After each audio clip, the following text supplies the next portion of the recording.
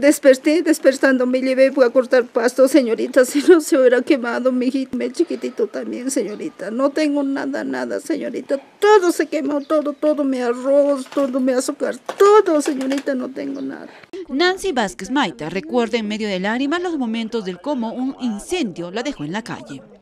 Este siniestro ocurrió el último lunes 10 de diciembre en la vivienda ubicada en el pasaje Salomé sin número en el sector de Asa del distrito del Tambo. Esta vivienda era habitada por Nancy, quien es madre soltera, sus tres hijos y un nieto. Yo dije, pues sancuchar papita, diciendo sancuchado por allácito, señorita, con leña.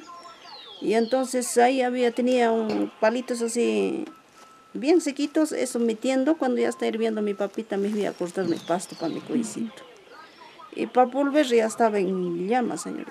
El incendio ocurrió cuando dejó prendida su bicharra al zancochar papas para su almuerzo. Mientras el agua hervía, ella fue a cortar pasto para sus cuyes, acompañada de su hijo menor de 10 años y su nieto de 5 años.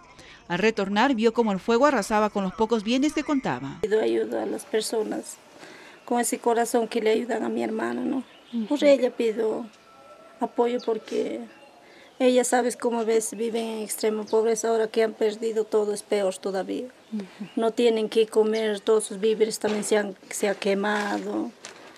Ahora también mis sobrinitos también ahora no sé con qué útiles escolares van a ir, no tienen nada.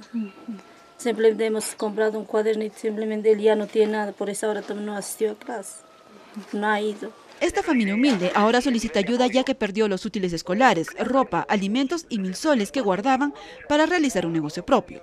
La familia es de bajos recursos, por ello solicita ayuda. Cualquier apoyo puede llamar al número de celular 964 473914.